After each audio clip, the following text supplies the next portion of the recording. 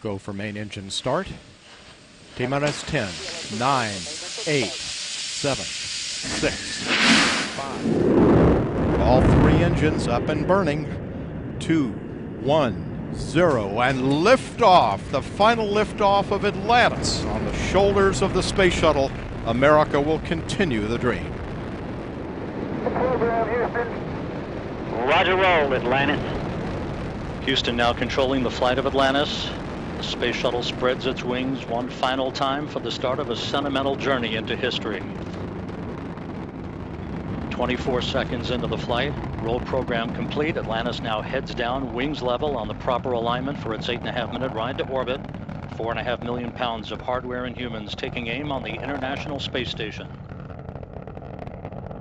40 seconds into the flight, the three liquid fuel main engines throttling back to 72% of rated performance in the bucket, reducing stress on the shuttle as it goes transonic for the final time. Engines now revving up, standing by for the throttle up call.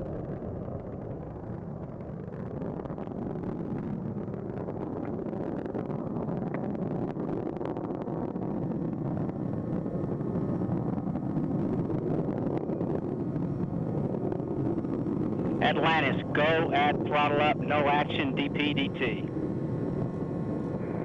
Go with throttle up, no action on DPDT. That call from Capcom Barry Wilmore, a transducer, instrumentation only, no action required.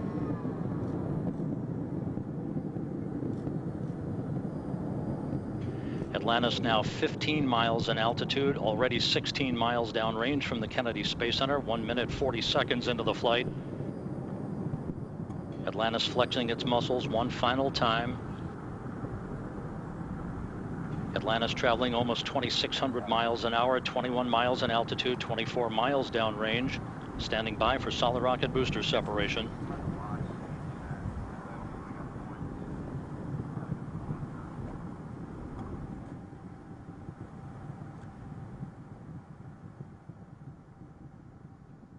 Booster officer confirms staging a good solid rocket booster separation.